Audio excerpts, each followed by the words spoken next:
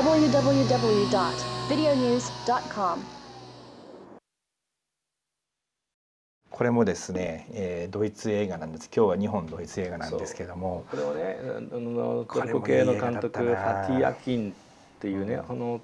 まあ、完全にドトルコ人の血の今国籍はドイツ人ですけども、はいはい。まあ、トルコ移民の子供です。えーそれが監督になってね、うん。えー自分でまあ映画を撮った、うんこれを女は二度決断するっていうこれはもうとんでもない素晴らしい映画でですね、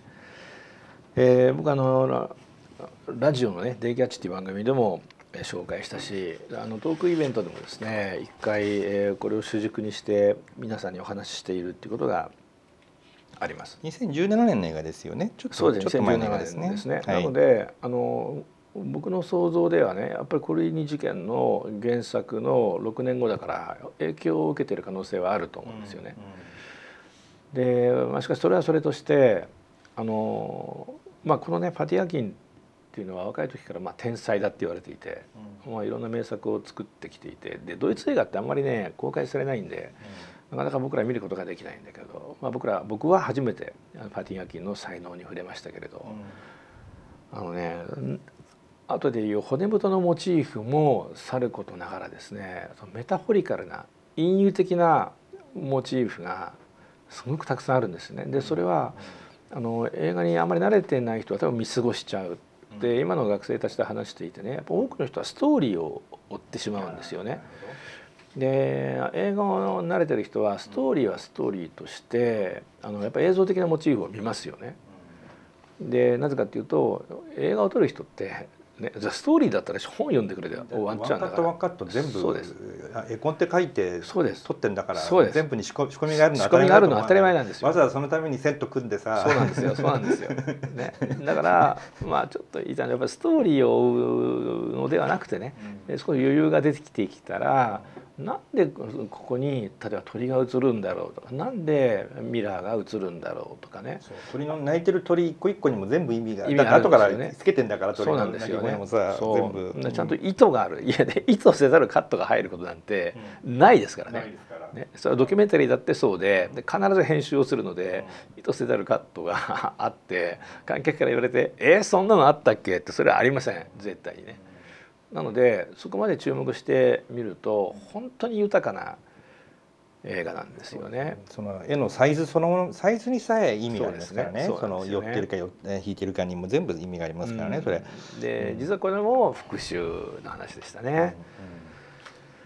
あの復讐ですね、まあ、復讐でこれもまあ最後の劇的な最後があるんですね。そうですね。えっ、とですね、ちょっと名前忘れちゃってるから、あのね、うん。えっ、とね、ちょっとあらすじ読みます。あのね、僕はねトルコ系移民が多い地域が舞台、まあハンブルクが舞台なんですけれどもね、あのまああの元々の生粋ドイツ人の、えー女性はカティア？このカティア、うん。これが主人公です。うん。でトルコ移民のヌーリいクルド人です。う夫クルド人ですね。と結婚しているんです。であのこのヌーリは昔売人だったんだけちょっとねど悪っぽい顔してます。そうなんですよね。でも今は改心して、えーまあいい人間善人としてこのカティアと一緒に幸せな生活を送っていて子供もいるんですね、っていうね。もうこの設定からしてなんか不穏な感じがするんですけど、で一応イスラム教徒です。そうなんですよね、もう案の定ですね。その、まあ、いわゆるテロの対象になってしまうわけです。でまあさっきのネオナチの話をねですね。えー、リモンさんされていたけれども、まあ、そういう排外主義者差別主義者による、まあ、餌食になってしまって、うん。爆その爆そうのうん。まあ、夫ヌーリと息子のね、まあ、ロッコっていうのが爆殺されてしまうんですね。でまあ元売人だったってこともあってね、まあ、捜査当局がなかなか本気を出してくれないまあしかもマイノリティだからねドイツ人じゃないからね。うんであーやっぱドイツもそうなんだなっていうふうにあの思いますけれどもあの結局その犯人が誰だかってことが分かるんだよね。ところがあの裁判で今ジムさんのおっしゃったようなあのバックグラウンドが背景で、えーもうネタバレですよ皆さん、有罪にならないんだよね。まあ、ややあのアンフェアな感じの裁判になっちゃったわけですよね。まあ、ドイツ人の検察官ドイああの、えーと、検察は、まあ、やっぱりあの、うん、何ですか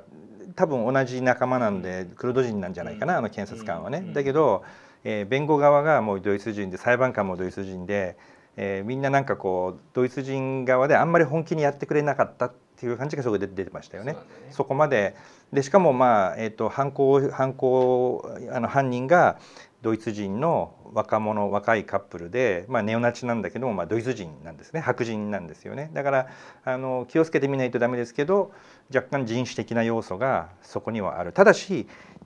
あの被害者の最後唯一の遺族であるカチアは実は普通の白人なんですね。すね。ただ被害者は2人とも、まあ、はい、ハーフのハーフの子供とクルド人、ここまではね実は普通の映画です、はい、普通の、まあ、テレビドラマと近い、はい、なのであ復讐するんだなって思うけれどもそこから先がねこのパティアキンの原作と演出のやっぱすごいところなんですよね。すごかったですね。でまあ、キャンピングカーでねそのネオナチ夫婦が、まあ、宿泊しているところを爆殺しようとするんですよね。でまあ計画を立てて自分でですね、えー、まあ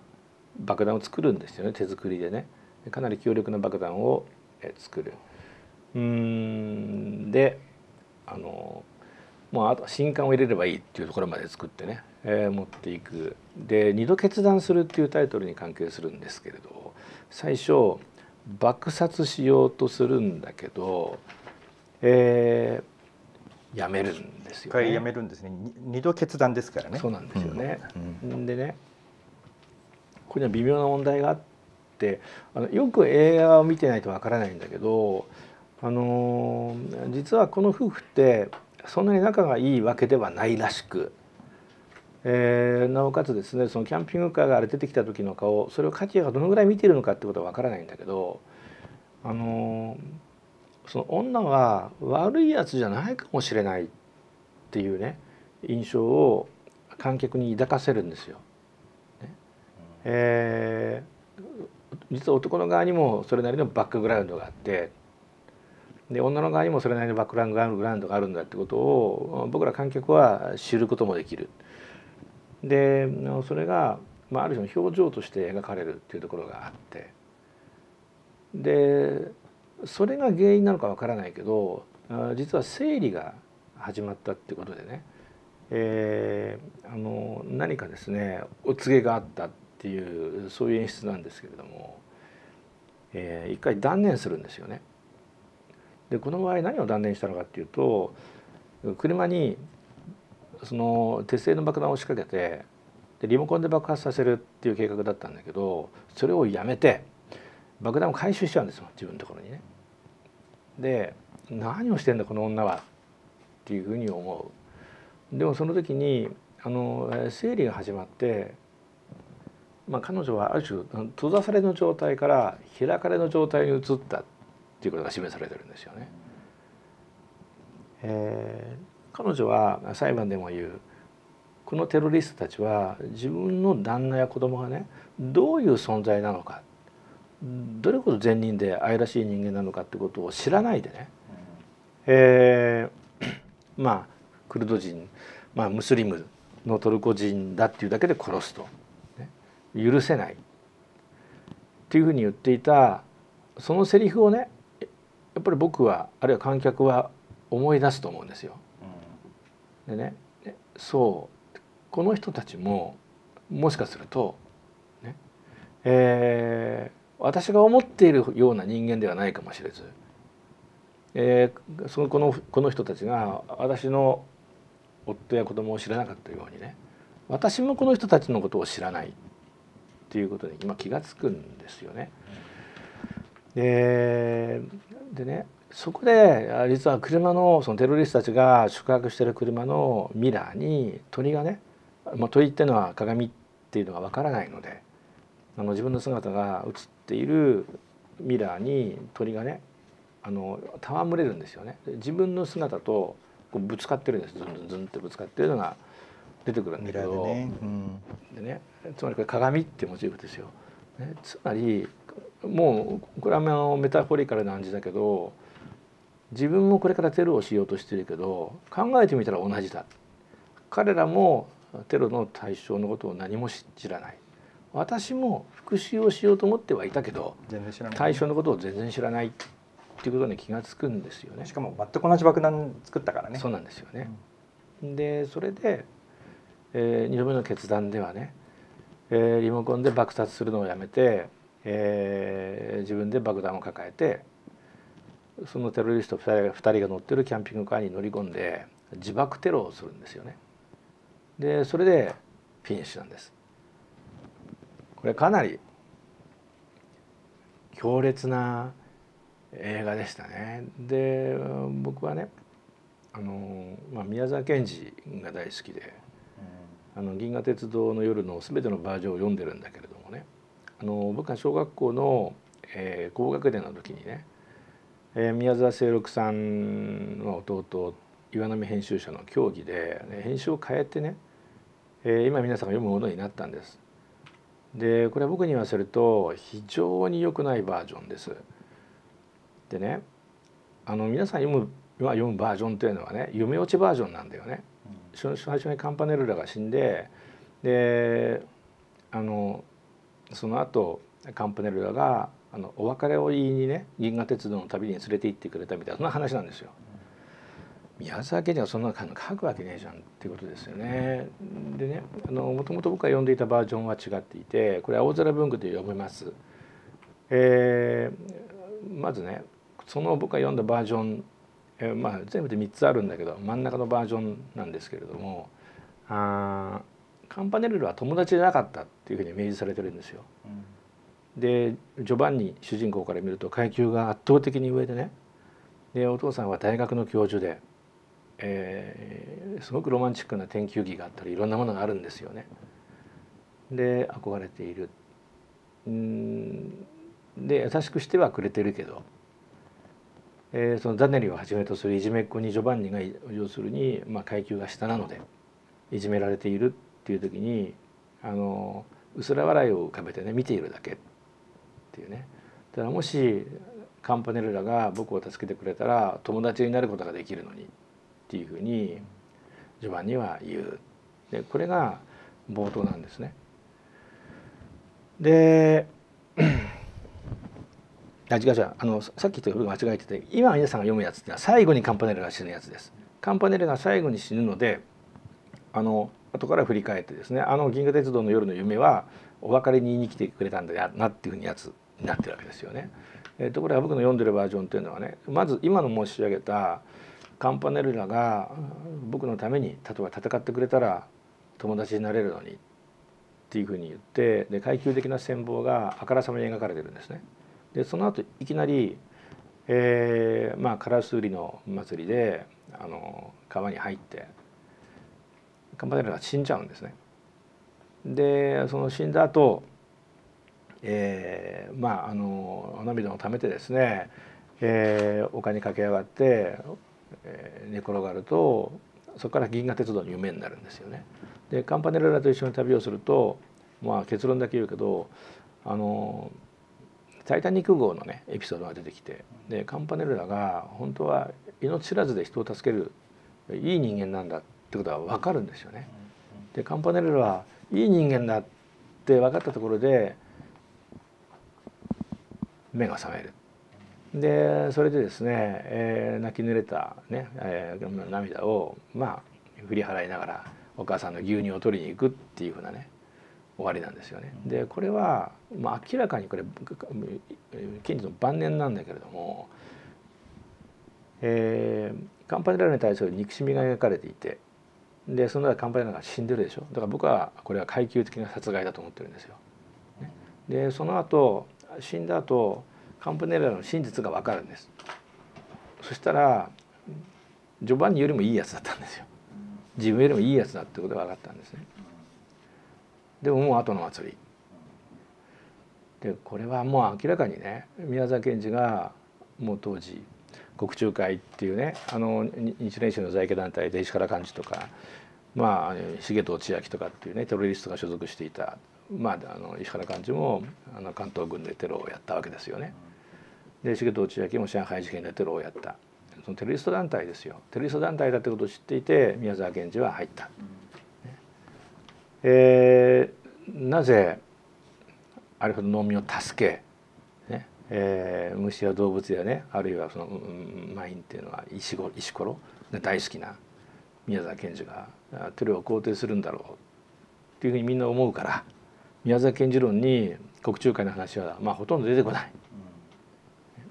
でも宮沢賢治のこの話っていうのはねつまりテロって全ては間違いなんだってことを宣言してるんです。だってテロの相手のこと知らないんだもん。ね、例えば革命のために殺すにしてもねもしかしたらそれは本当の革命のために自分よりも役立つ人間だったかもしれないわけですよね。でも殺しちゃう。でもさっきのいわゆるフレンチ・レボリューションとかアメリカン・レボリューションとかも全部そうだけどあの正しいこの、まあ、例えば法外の正義のためにね、えー、戦うその結果相手を殺してしまうっていうこともあるし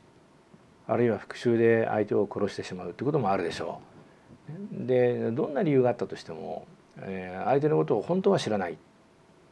ていうことをベースにしてなされる以上ですね、えー、殺人が道徳的に正しいっ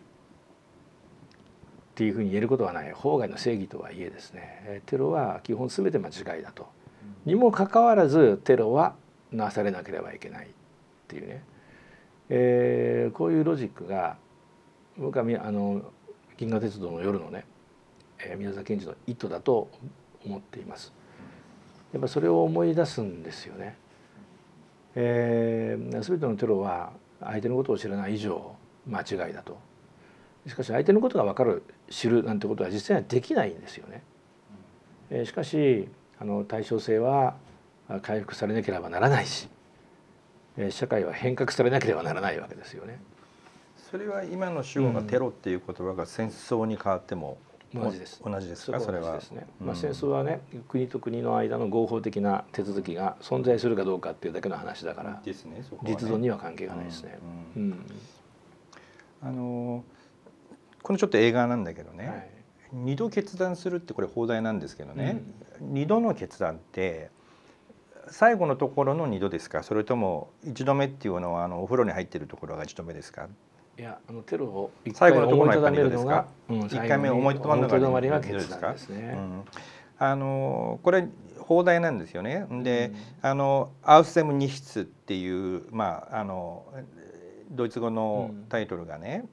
えー、で英語ではなんかインダインザフェードなんですよね。ちょっとちょっと英語のタイトル若干微妙なんですけど、うん、あのアウステムニヒツっていうとアウト・オブ・ノーウェアなんですよ。すね、どこからともなく湧き上がってくるフェーズが湧き上がってくるみたいな。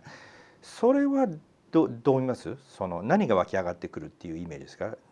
アウト・オブ・ノーウェアどこからともなく湧き上がってくるっていうタイトルなんですよもともとのタイトルはこれ。それはねさっき申し上げた難しいねお告げだと思うんですよね。あの一度目に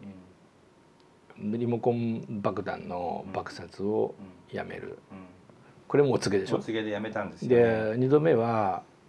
これは視線の位置が示されてないけど、鏡のその鳥の戯れを見た,、見た。これもお告げ、まあ、オラクル。お告げなんですよね。でどっからともなくノーウェアノーウェアどっからともなく来たと。だからこれがねなんて言うんだろうな。これって合理的なね決断としての二度のね決断ではないっていうところにやっぱポイントがあると思う。だからそれはね 宮沢賢治の「銀河鉄道の夜」もそうですけれど人に説明して納得できるしてもらえるようなものとはちょっと違う話ですよね。うん、ただ彼女はあのそこはあんまり大きくあのなんていうんですかそのクローズアップされなかったけど一回死のうとしてるわけですよねもうね。ででも犯人が見つかったって言って思い直したわけですよね。だからそこから先は次の自爆するところまではある種あの復習のためにの時間でしかないところがあるわけじゃないですか。ややっぱり生きようというふうに考える理由は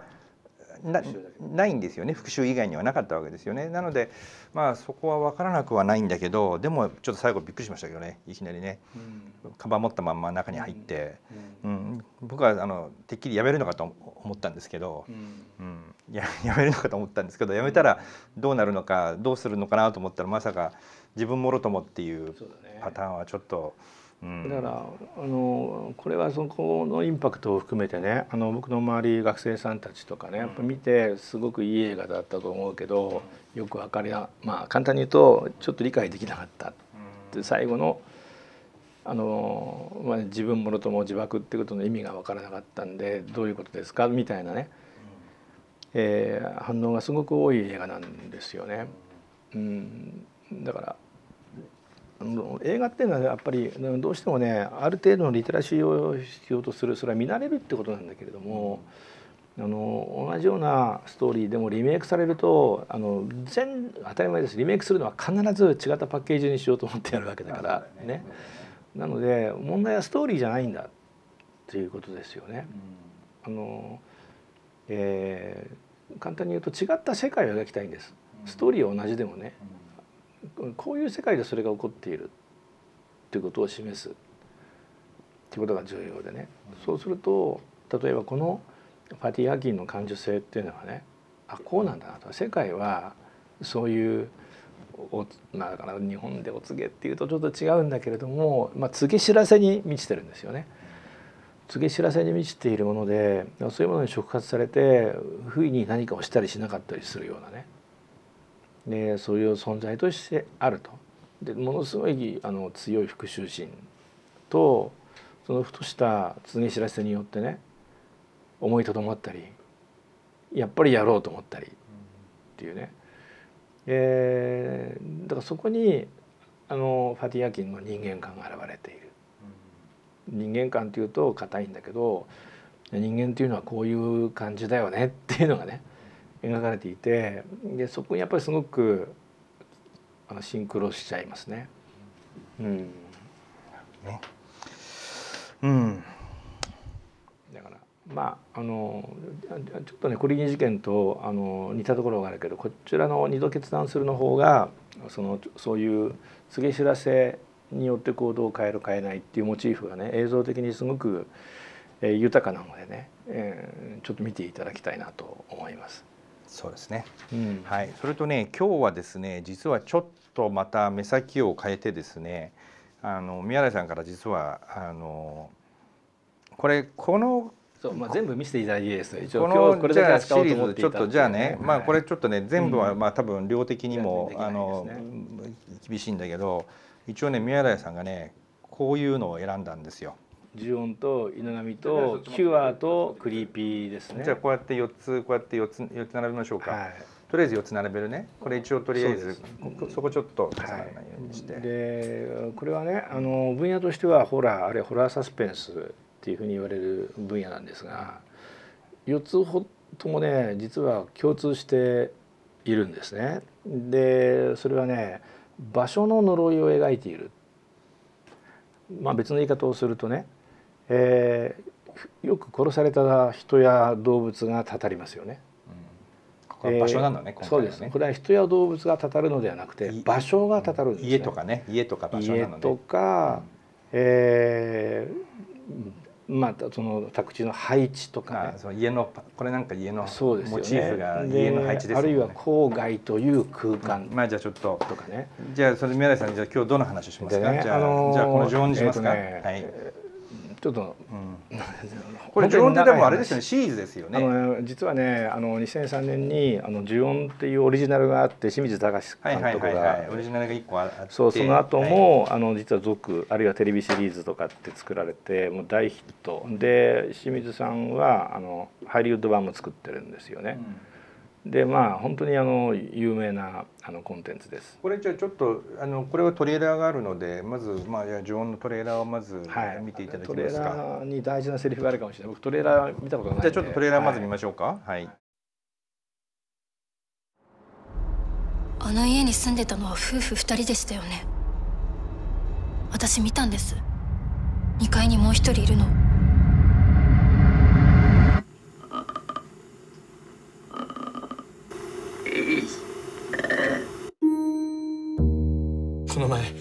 変な家行っちゃったんだよ。そこ行っちゃいけなかったんだ。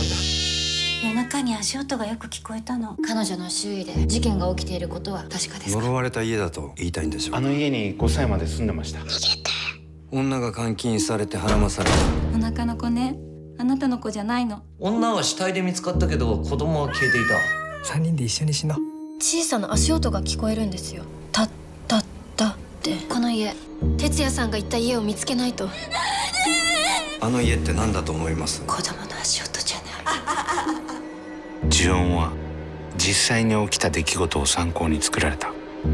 それらの出来事はある一軒の家に端を発していることが分かった。だが実際に起きた出来事は映画よりもはるかに恐ろしいものだったのだ。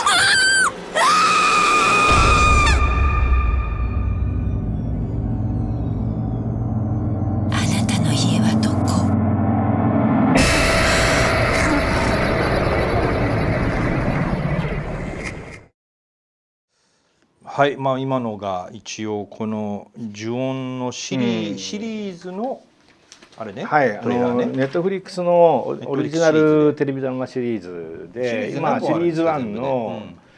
えー1から6までです6までやねあるのね。の、うん。だからシーズン1としてはですね普通8から12のことが多いので、うん。まあ16とか24とかっていうのがありますけど、非常に短い。えー全部合わせても3時間であのシーズン11から6まで見ることができます。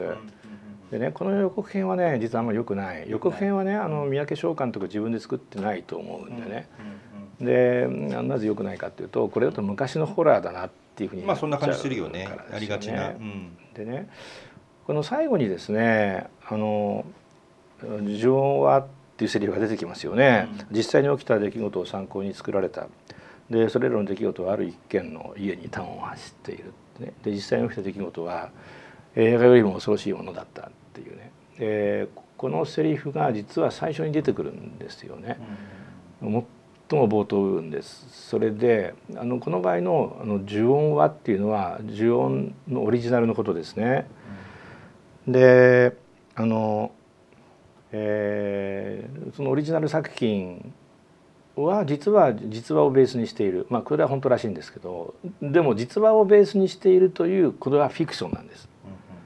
でどういう実話だったのかっていうことをこの「呪音呪いの家」が描きますっていうねあのそういう作品なんですね。であの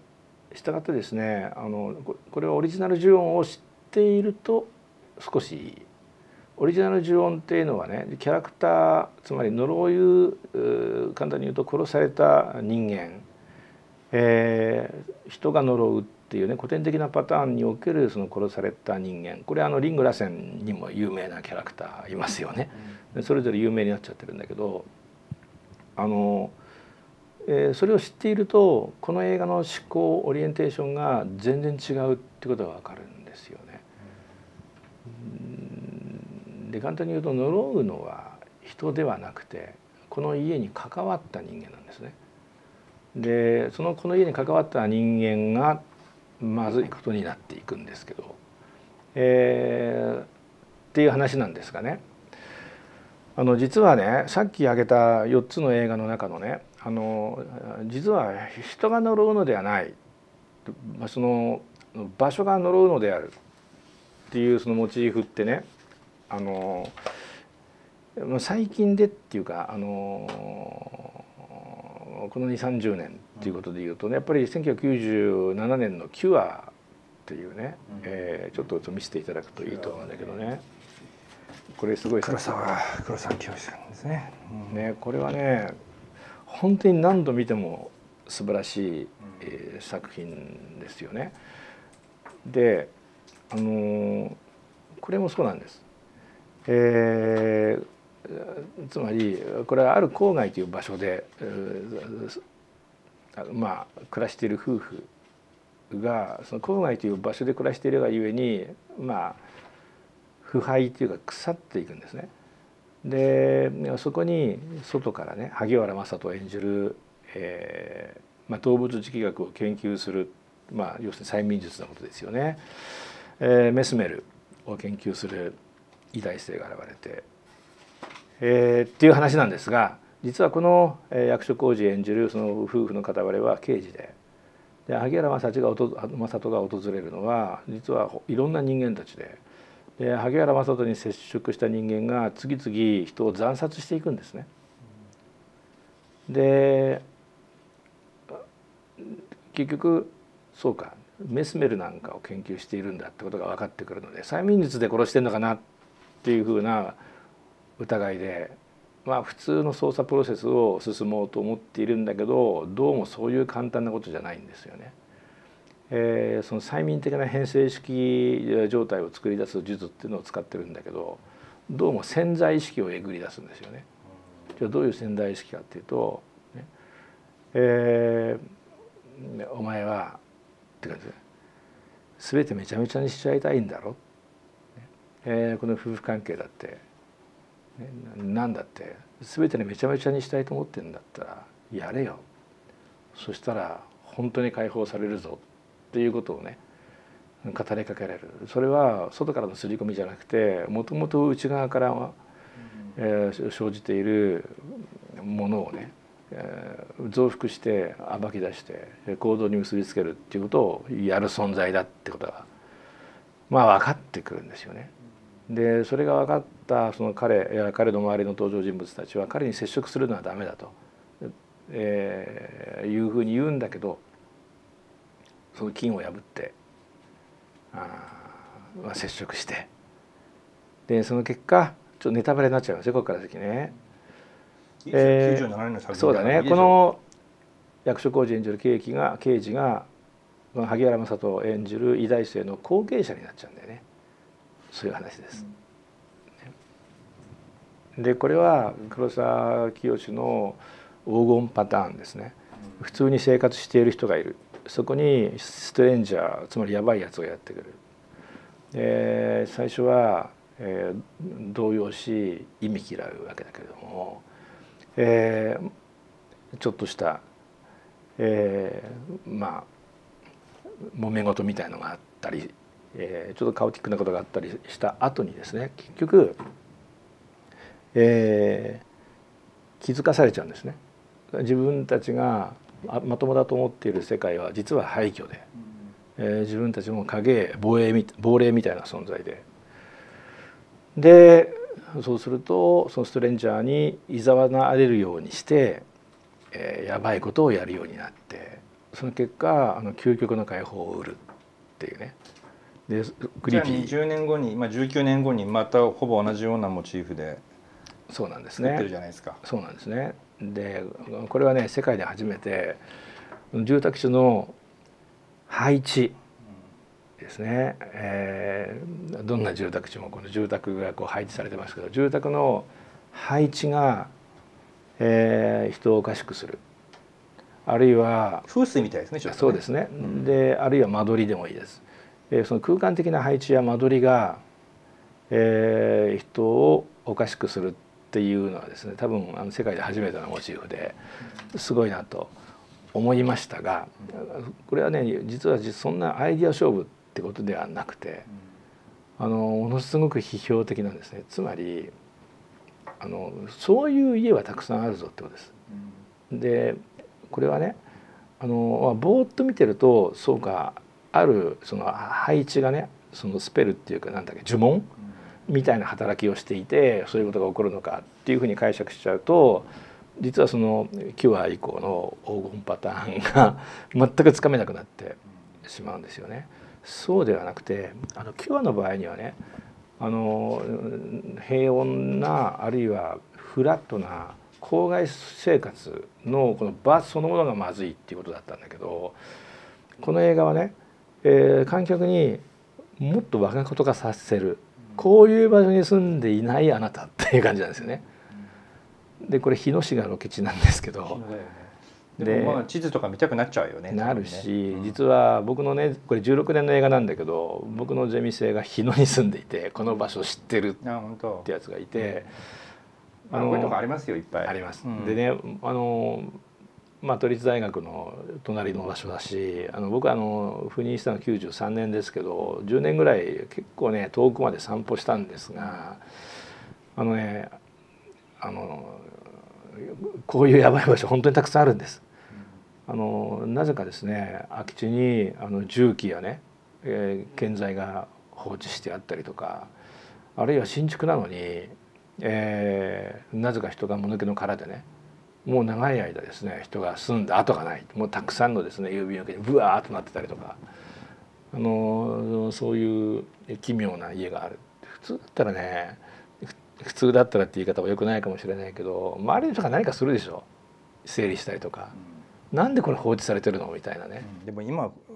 もっと増えてますよ本当に。あの都心でも増えてますよその廃廃墟が。廃墟ね。本当に、うん、だからこれからそういうの増えるんじゃないですか。そうですよね、で基本あのまあ皆さん思い当たることばっかりのあの引っ越しのね挨拶をしに行くの。主人公夫婦がその場所に来て引っ越しの挨拶しに行くんです。そうすると、えー、まあ2箇所行くんだけどどれも「え引っ越しの挨拶なんでそんなことやるの?」みたいな感じですね。まあ、変な人なんですよでも、今だからもうしなくなってるからね。今しなくなってもね僕も15年前に、あの近くのマンションにちょっと、うん、家の改築のために住んだ時引っ越しの挨拶やっぱりしに行ったんです僕妻と一緒に。そしたら「え？っ?」とかって。珍しいですね。迷惑やられちゃうんですよね逆にね。そういうことをするのがかえって迷惑だっていう感じで、ね、に専業主婦もいないでしょ、うん、そうすると昼行ったって絶対いないわけですよ。そうすると夜の9時とかね10時に行くんでやっぱり軽減な感じですよね。だから今そうか引っ越しの挨拶ってなんかちょっとあの空気感から言うとそうそうなんかねお解消しなきゃいけないとかねいろいろとまた気使って面倒くさいみたいな話なんでしょ多分ね。ねで、うん、そういうねなんか思い当たることが結構いっぱい描かれて観客はやっぱ挑発してるんですよね。うん、この場所は悪い場所なんだよでもみんながいる場所と同じだろって感じなんですよ。でそれがこの映画の「そのクリーピー」っていう映画のすごく嫌なところなんですよね。であのこれはねあんまりネタバレする必要がない語れるんですけれども、えー、これもですねやっぱりあのその隣人がですね、まあ、偽りの隣人だったかなタイトルは。そうですね、えー、そのこのタイトルもどうかなと思うけど、あそうだ僕この「クリーピー」にめちゃめちゃ長いプログラムの解説を書いてましためちゃめちゃ長いです。あのまあいつ例によって依頼の10倍ぐらい書いちゃったんですけど3枚を30枚ぐらい書いちゃったんですけど、えー、本当にこれも豊かな映画です。で黒沢の黄金パターンではありますけれどその偽りの隣人を演じている香川照之。香川照之はクリーピーな感じうまいですもんね。うまいね。まあもともとちょっと creepy な雰囲気ありますからね。ありますよね、うん、あのねあのねそうまあ歌舞伎役者でもあるからねあの大げさな演技なんだけどそれがね全然今回は問題じゃないんですよ。あのね本当に嫌な感じがする。あの急に顔を近づけてきたりとかね、えー、その全く普通はありえないような会話の接続ですよね。えー、旦那さんと僕とどっちが魅力的ですかって突然顔を近づけて言うとかってもう、まあ、社会学で会話分析ってあるんですけどね、そう基本的なあの会話の僕たちが無意識で踏まえているルールをことごとく覆していくんですよね。でそこもね実はキュアと似ている印象がある。あのキュアの場合にはまあ動物磁気学催眠を使うんだけど、でそういうふうにしてあの一個一個ですねあの会話ルール僕らが無意識に踏まえているそういうものを一個一個ですねもしかすると意図的に破ることによって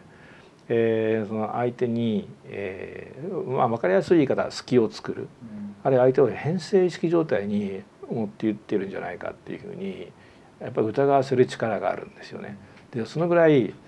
香川の演技は嫌な演技です。で竹内優子がそれで引っかかって取り込まれていき。あれ何何何にも薬物とか使わずに取り込まれたっていう設定なんですか？そうです。よく分かんなかったんだけど。そうですね。このもうこの話術だけで？そう、取り込まれていって、うん、その後から薬物が使われるんですよね。でまああのこれはね見ていただくと分かると思うんだけど、あのね完成度はキュアの方が高いと思いますが、本当に「クリーピー」というタイトルにふさわしいんだけど、あのいわゆる我がこと化できる度合いって圧倒的にクリーピーの方が高い。うんうんまあやっぱり19年経ってますよね年月がね。ねやっぱりあのいわゆる完成度って実は問題ではなくて、やっぱモチーフなんですよね。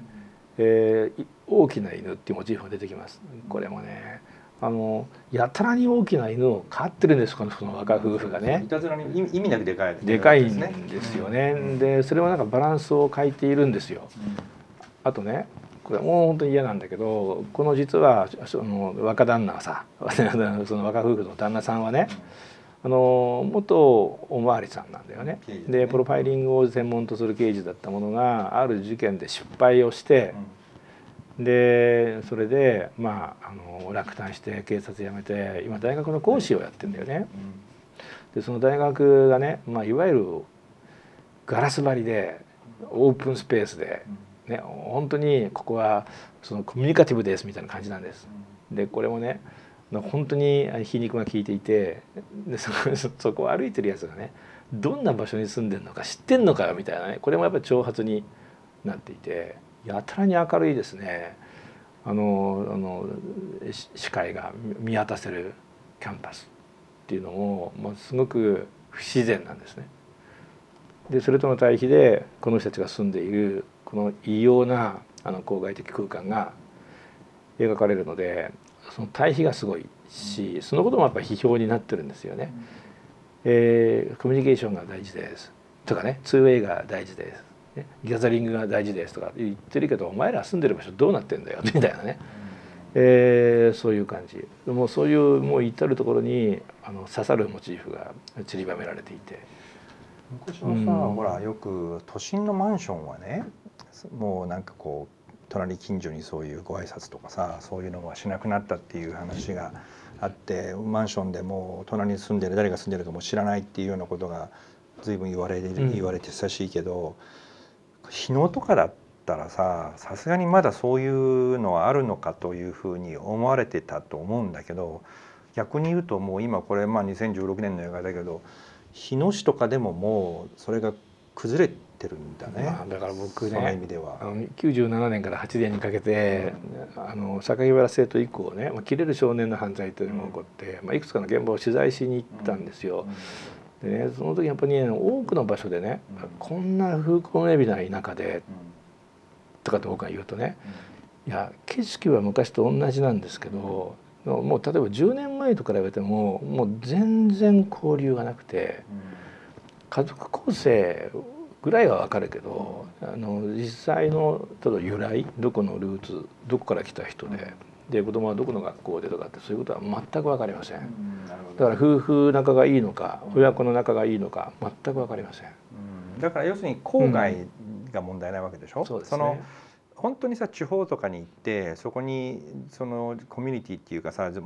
のそこでそこに生活圏がある人たちっていうのをさつつながらざるを得ないところがあるじゃないですか。えーとね、うん、僕もそう思ってねだから結構ねあの風光明媚な田舎で少年犯罪って起こってるんですよ。でも行ってみると、うんあのいやここはでも昔ながらの集落ですよねっていうといやそれはちょっともう違うんですよ。変わっちゃってる。変わっちゃってるっていうのが、その97年8年にね僕いろんなところに行ってあの調べた。自治会とかももう機能してない？えっ、ー、とですね自治会ってあの僕のところにあの玉野和志っていうねそういうの専門の研究者がいるんだけどあの例えばね今新住民のどれだけが自治会に入るか、だから新住民はダメですよ。ダメです。全然ダメでしょ？都会とかそのいわゆる郊外とかは全然無理だと思うけどさ田舎の方に行くと結局先祖から在代から住んでる人たちが多いじゃないですか、でもそうするとね、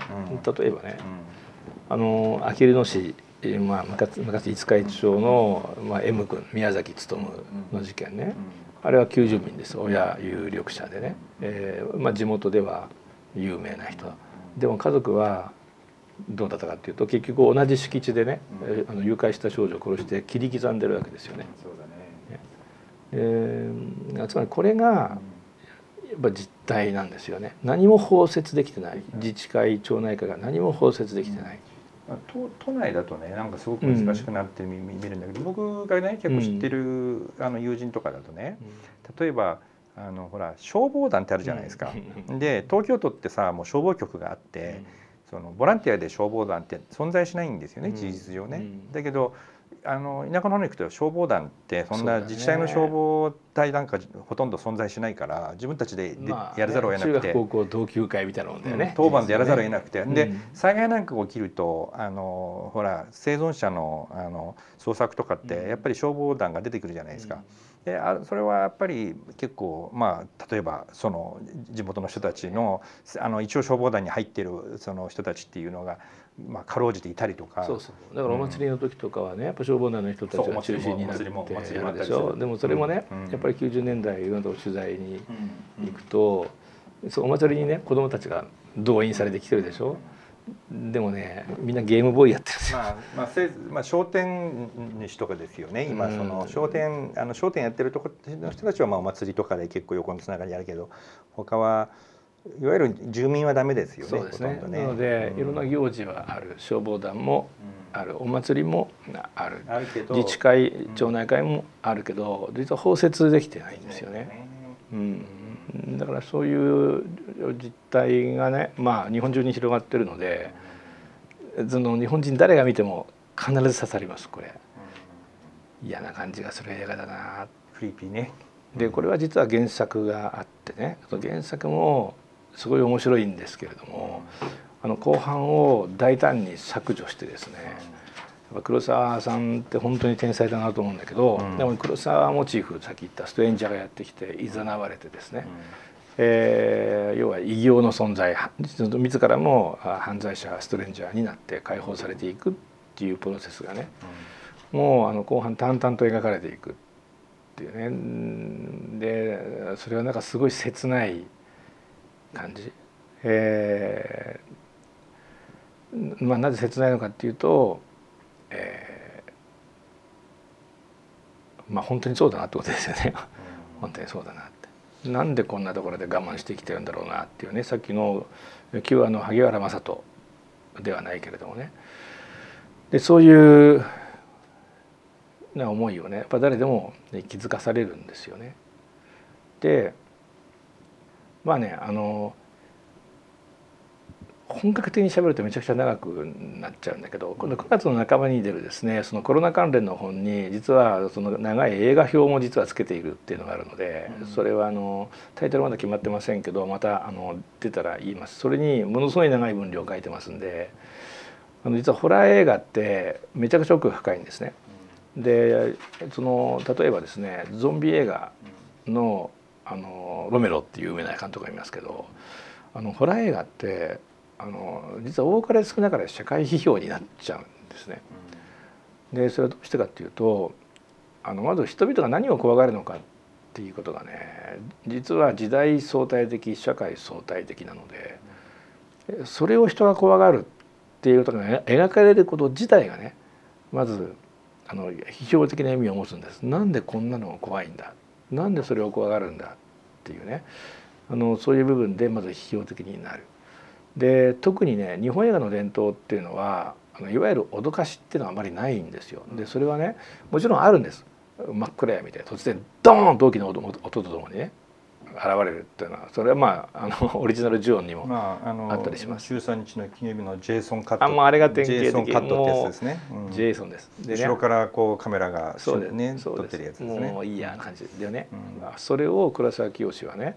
えー、あの92年に「地獄の警備員」っていうホラーを作った時にあの卑怯な演出って言ってるんですよあるいは卑怯なホラー映画っつってるの、ね。ね、情報の額小説家取るでしょ？監督や脚本を知ってることを観客は知らない。そんなで脅すのはひでえじゃねえか。もう1回目か2回目は大体フェイントなんですよね。そうなんですよ、ね、3回目で来るんですよねそうなんですよね。もう本当にもうやでね。子供騙しですから、ね、子供騙しですね。でね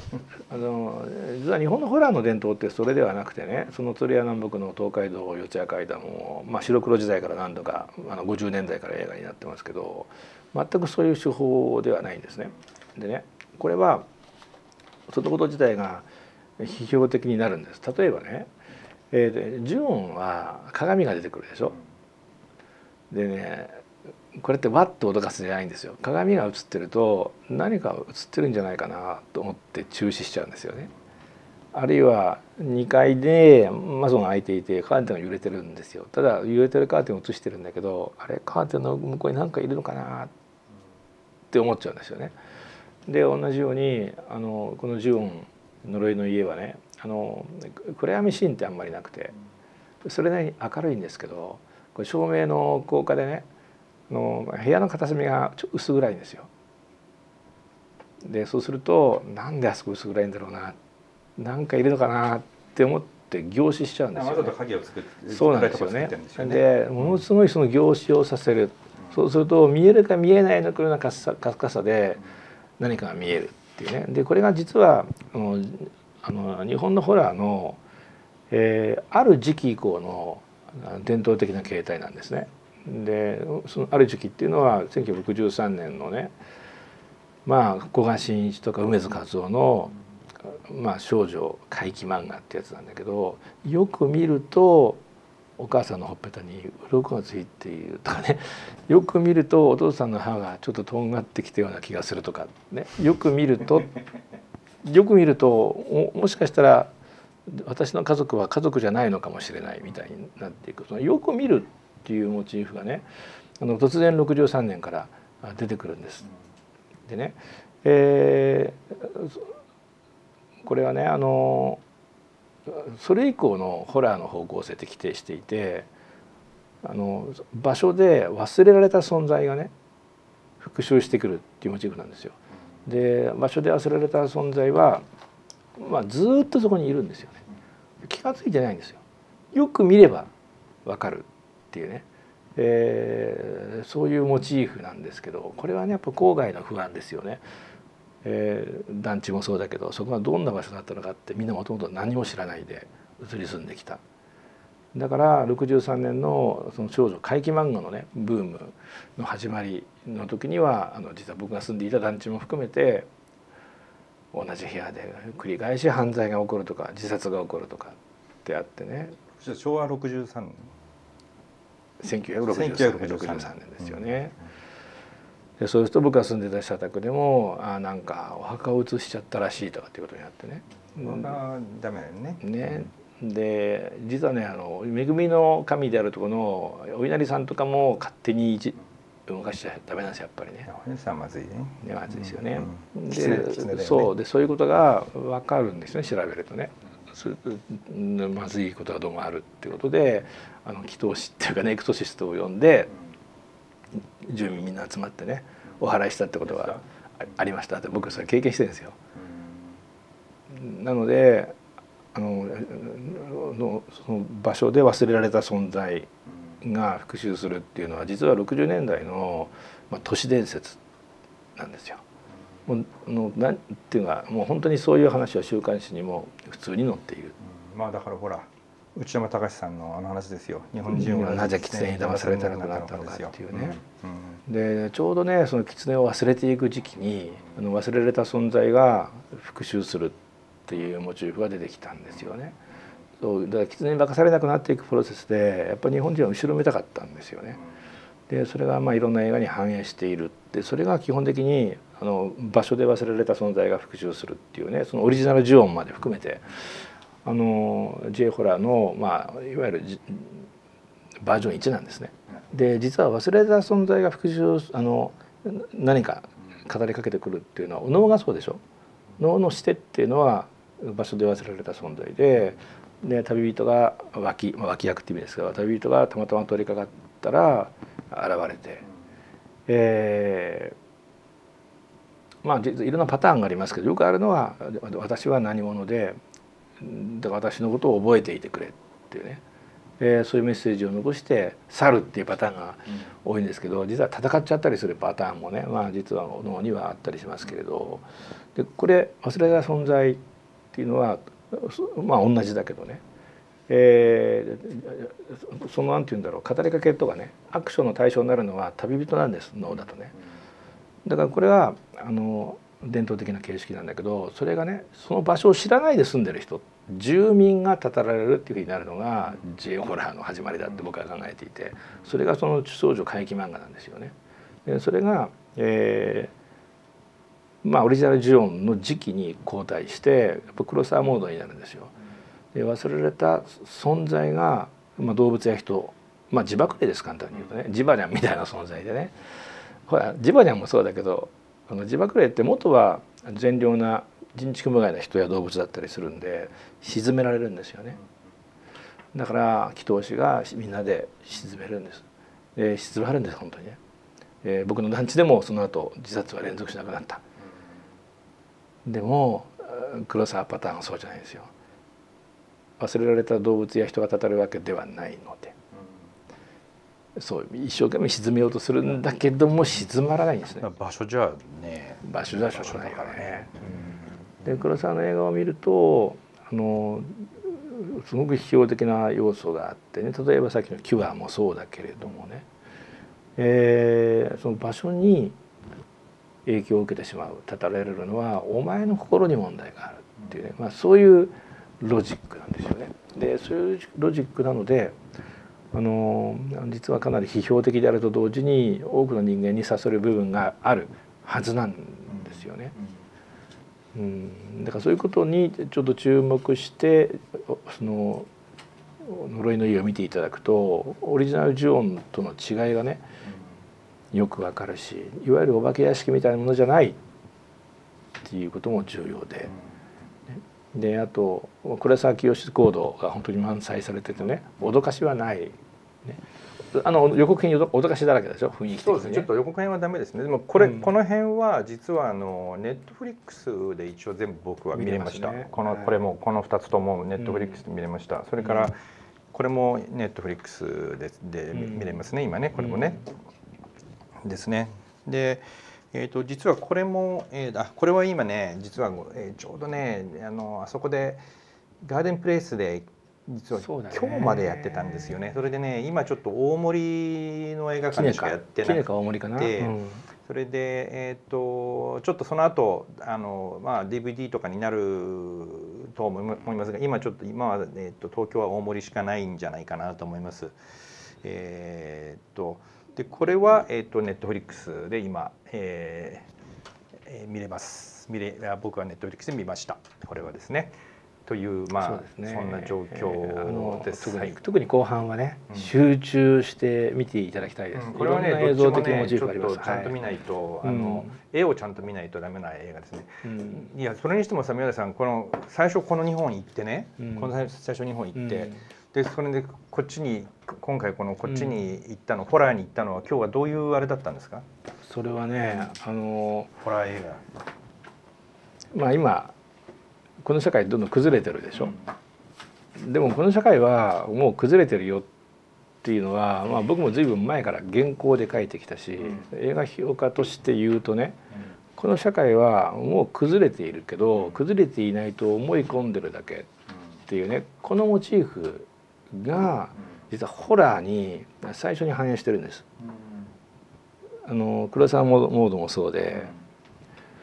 でねなんでこれを今やるのかっていうとだからもう分かりきったことが起こってるってことなんです。だからホラーのモチーフやあの批評的なモチーフやねあのホラー的な図式から言うと気が付いてないやつが悪いよね。キュアもそうでしょクリーピーもそうでしょさそうするとさ一頃さ、うん、世界的にとにかくゾンビゾンビばっかだったじゃないですか。うん、であのあれってだからコロナとか来る前にとにかくゾンビゾンビだったんですよね。やたらもうゾンビでゾンビワールドはワールドはなんだっけ Z だっけとにかくもうゾンビがなんかもう無限に出てくるようないっぱいあったじゃないですか。その後に今度コロナのフェーズに入った時にどうなの？つまり、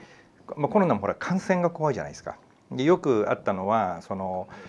共産主義が怖い時に感染が怖いって言ってその光る目とかね、要するに宇宙人に感染しちゃうみたいなので、共産主義とのなんか恐怖みたいなのがよく描かれてたっていうのがあったわけですよね。あの今度これコロナっていうのがこう、まあ、出てきた、まあ、今年入ってからだからまだ映画はすぐには出てこないかもしれないけどそれっていうのそのそういうメタファーっていうかとしたらどういう形でホラーにホラーでは出てきますかこれは。あのコンテージョンという映画もそうだったけれどもねあのソダバーグの映画でしたけどもあの結局ねウイルスって目に見えないでしょ？なのでまあその映画もそうだったけど、うん、結局人がどう振る舞うのかっていうことが主題になるんですよ。だから狂っちゃうやつもいればね、あのまあ意外にまともなやつもいれば。的に見えて単なる本当に損得野郎だってことが暴露されるやつもいるとかっていうねあとはゲグエニルですよね。グエニルがどう描かれるかですよね。そうですね、うん、つまり本当に怖いのはどっちかって話なんですよね、うん、実はね、ね、そのウイルスなのか、うん、それとも人間なのかですよね。だからウイルスモチーフはあのホラーにとってはすごく良くてねさっきの申し上げたように場所にね影響されてねおかしくなるのは人が悪いからですよ。そいつが悪いっていうのがその萩原正人演じるキュアの偉大性のモチーフなんだけどあのだからウイルスごときでまあごときでっていうのはよくないけどねその僕も純子さんもかかる可能性があるんだけど、えその時にどう振る舞うのかって本当に人によって違うでしょ。だからウイルスだからこうしたなんてことは言い訳にならなくてウイルスはみんな同じでねお前だからそうしたっていうふうに言うほかないようなそういう恐怖なんですよ。ね、であのもしねあの世界的な使用上のフォーマットで言うとやはりねそういうふうになっていくと思う。えー、外から影響されてそうなったと見えて実際にはお前お前がそういうやつだからそうなったっていうふうなね形になっていくと思いますね。すごい重要ですよね。あのグエニルじゃないグエグエムルねグエムルはね僕ねぜひやっぱり今改めて見てほしいあのあのポン・ジュノがその2月かなんかに日本に来た時にね、うん、あの要するにあっちの作品でのことで来たんだけど、うん、記者会見でやっぱりそのことを一言言ったんですよね、うん、特にそのグエムルの話はせずに人々の反応の方が怖いんじゃないかって言い方をしたんだけど、グエムルってさそういう表現どこにもあの紹介の時にされてないんですよね。要するにあれはなんか化学物質かなんかが流あのねかんね流されてそれってそれよりもむしろ人人々のその恐怖心とかその猜疑心とかそっちの方が怖いっていうことが描かれたっていうふうに多分読むんだろうけどでもそういうふうに紹介されてないんだよね。あの怪物は人々が作ったものだっていうふうに。っていうふうにはそうリアルの怪物だと思っていてなんでじゃあそこにどっから出てきたのかあのゴジラみたいにあのヘドロが作ったみたいな話になっちゃってたりするっていうね。なんかそれはね、まあ、その今日紹介しなかったけど「犬神」っていうね、うん、あの原田正人監督の映画。うん、これ、えー、出しとこうか、じゃあ最後。うん、で、これねちょっと古く遡ると「シャイニング」のモチーフジャック・ニコルソンジャック・ニコルソンね。であのねこれはねあのまあ「シャイニング」の功績なんだけれどもあの確かに異様なものが映ったりするんですよでもこれは全部主観だって描かれるんです。ね、エレベーターの前で子供がね三輪車に乗ってるとブワーって出てくるとかそれは子供の目に映ったっていうねだから実際に何がいたのかってことはわからない。でこの犬神もね壺の中に犬神様がいるもう今日は時間があれなので紹介するとねもうこの映画はあまりにも深くてですねもう2時間も3時間でも説明できるんだけど同じです。見えるという人がいると、ね。えー、でも本当にいるかどうかわからないいるかどうかわからないんです。ね、であるいはあの犬神は犬神としては出てこないけれどもあのいわゆるですね光学迷彩みたいなですねそのプリズム状の光をあの乱反射するような存在として出てくる。っていうね。でこれも本当にそうなのかそういうふうに体験する人がいるのかっていうことはやっぱ最後まで明かされないっていうね。でこれがねやっぱりあのスタンリー・キューブリックってあのやっぱそういう人なんですよね。あのアメリカ的な直接性がすごく大嫌いなイギリスの人なので結局全ては体験に過ぎない。カール・グスタフ・ユングの言ったねことですよ。あのこれを「空飛ぶ円盤」っていう本で言ってるんだけど神秘体験の存在は神秘現象の存在を意味しないっていうね有名なセリフがある。で実はもちろんカール・グスタフ・ユング自身はどちらかというと神秘主義にもちろん近い人であったんだけどでそれはいわゆる現象っていう意味じゃないんだっていうことをまあ言いたいんですけどね。あのその最近のホラーの一つの様式はゾンビ怪獣、えあるいはエイリアン。だから怖いじゃないんですよ。あの本当にいるの？いるって思ってるのはお前だよね。あるいはまあいるのはいいとして、ね、それがどう見えるのか、まあ、ウイルスもそうですけどどう反応するのか？どう見えるのか？どう反応するのか？それはでもお前の問題だよね。っていうふうに必ずその観客あるいは登場人物人の人の側に投げさ投げ返されるような形式を持つものが多いですよね。なのでその分批評的になる。うん、だから J ホラーもそのよく見るといるっていうんだけど、ね、本当にいるのかどうかなんかわからない、ね、でもよく見るといると感じる見えるというそういう人はいるんですよね。でもちろんそれが見える人と見えない人とどっちが豊かなのかっていう問いかけがまずこの映画の最初の入り口になるんだけれどもあの結局ですねえー、これがあの文学的で深いジオホラのいいところなんだけれどあの世界を豊かに体験できるということと社会をうまく生きることができるっていうことは別問題ですよね。でこの犬神っていうのはね皆さん平井和正とか知っ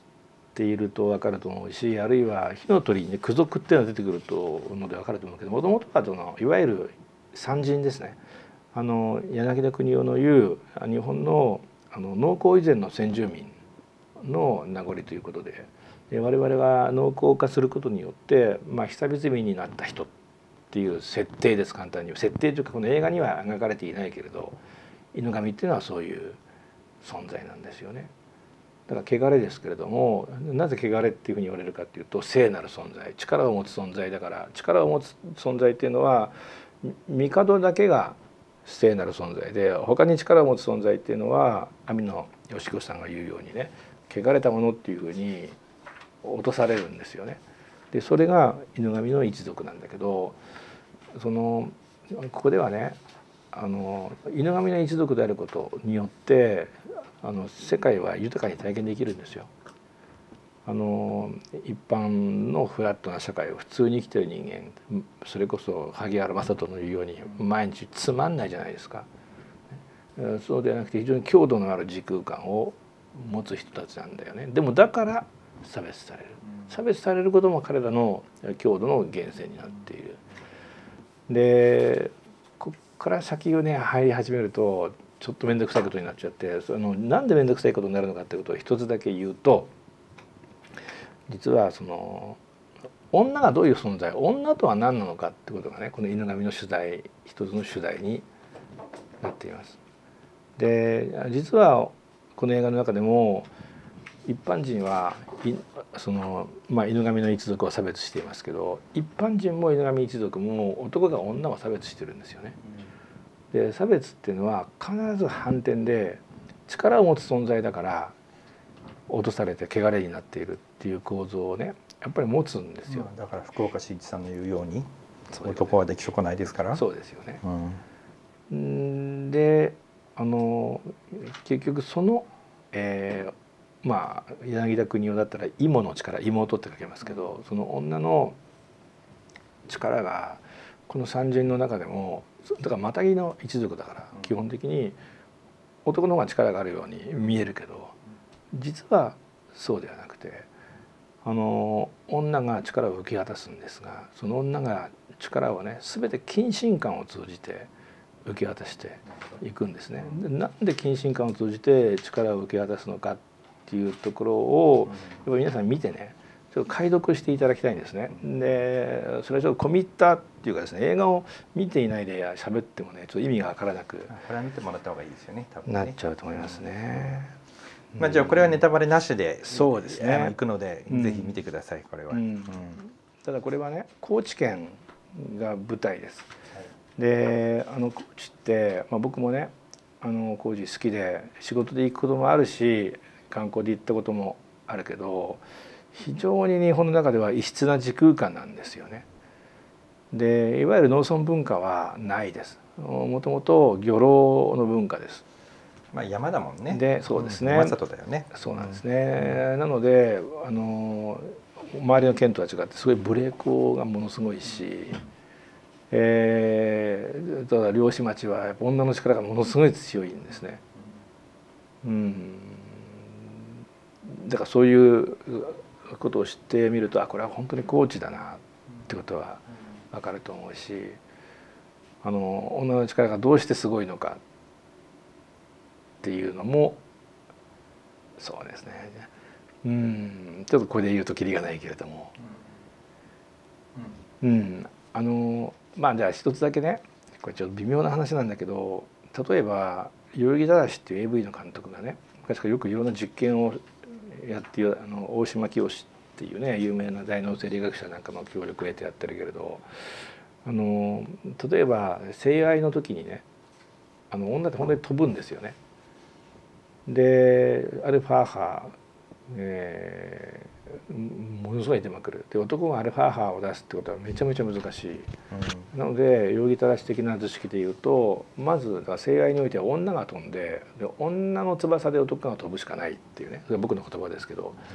えー、そういう構造がやっぱり出てきていってあのこの犬神の中でも繰り返し描かれるし、まあ、実はいろんな映画でそれが描かれているんですよね。で女が誰を翼に乗せるのかっていうことが問題であの実はあの母親は多くの場合ね、えー、フロイトに言う虚勢っていうね西洋的な文化と違ってやっぱ息子から翼を奪うんですよね。えー、息子から力を奪って普通の人間として立身に出世してくれみたいになっちゃうんです。うん、なので男があの母親から外に出て力を得ようとすると他の女の力で飛ぶしかないっていう、ね、一般の構造があります。で母親それが嫌なわけそうですねところが犬神は犬神一族は、そう農耕の一族ではないのでそういう文化ではないんですよね。だから母親は母親は息子の力は奪わない。うん、でなぜそうなのかとかいろいろ考えながら見ていただくといいですね。まあじゃあ犬神も一応そのこの一応このあれなのね。このこのこのラインナップの中の一応延長上なのね。今回はこの延長上の中に。延長です。延長線上に犬神も一応今日今回入れると、うん、これもね実は場所の映画なんです、うん、そのね、えー、主人公の女がある場所で和紙を作ってるんですけど、なぜその場所で和紙を作ってるのかっていうとまあすごくあの分かりやすく言うと社会の外側に通じる扉だからなんですよね。えー、その社会の最も弱い部分に暮らしてるんですね。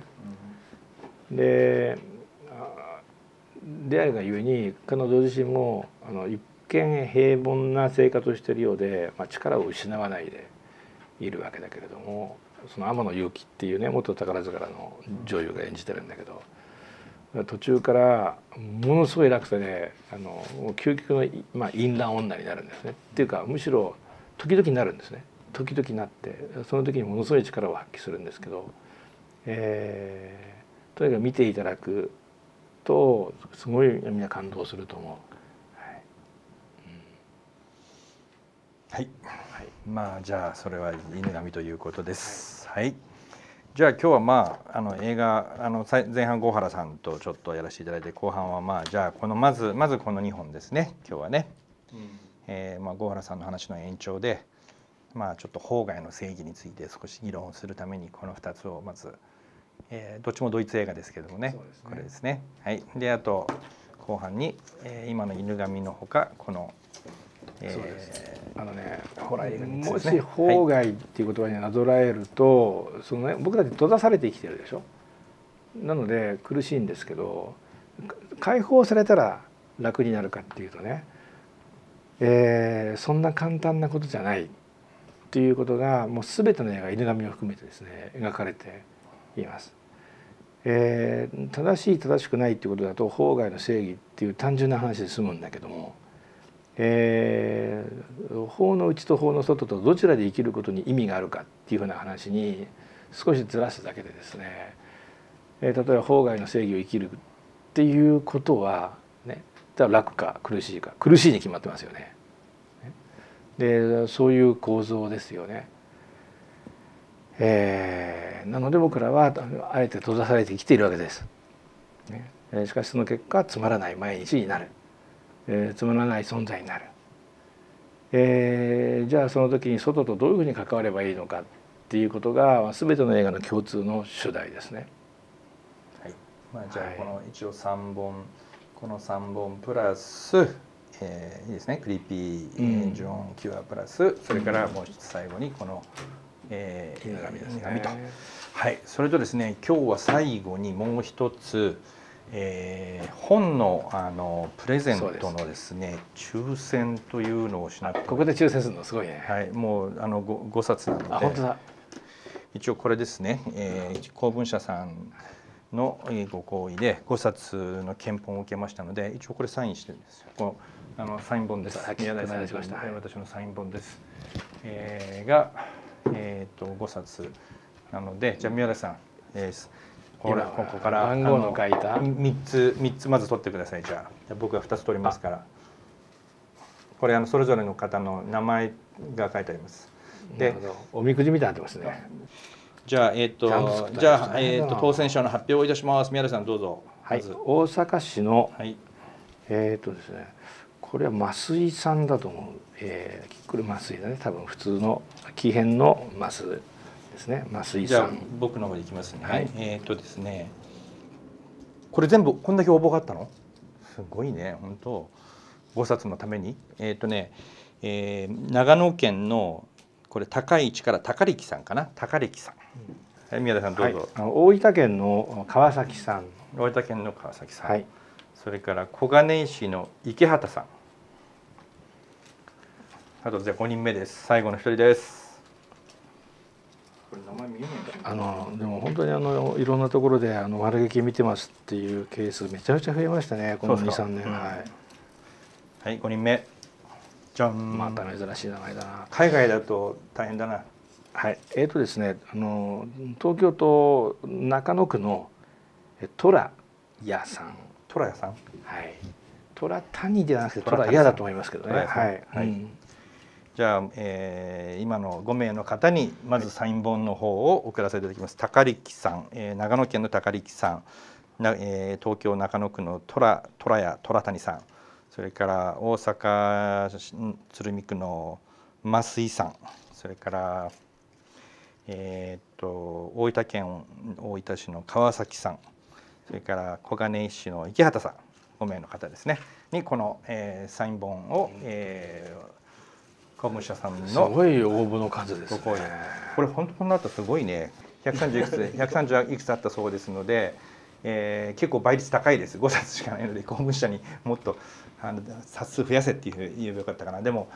ちょっと送るのも大変なのであの送るのを我々送らなきゃいけないので公文社さんがやってくれるわけじゃないのであの一応じゃあこの5冊のあの5名の方にはちゃんとは住所も書いてあるので我々の方から責任を持ってあの送らせていただきます。小原さんも今日あの、えー、来られましたけど小原さん一番冒頭で小原さんも入ってますから、はい、今日の話も入れたかったけどね本当はね、うん、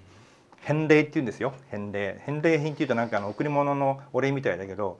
返すに戻すって書いて返礼って読むんだって、はい、行政用語って面白いですね、うん、検察問題終わらないね。受理せずに預かっておいて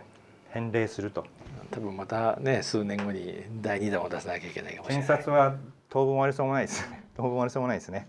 まあ林検事総長には頑張っていただくしかないですけども。はい。まあそんなわけで、えー、今日はちょっと長くなりましたが、えー、ご金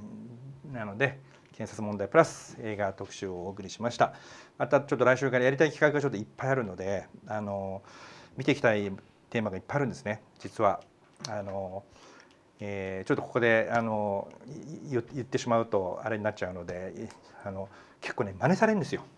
まあそうね。そうなんですよね。なのでちょっとやめとこうかなと思今、うん、一瞬ここまでいかかったんだけどちょっとやっぱやめとやめとこうかなと思いましてあの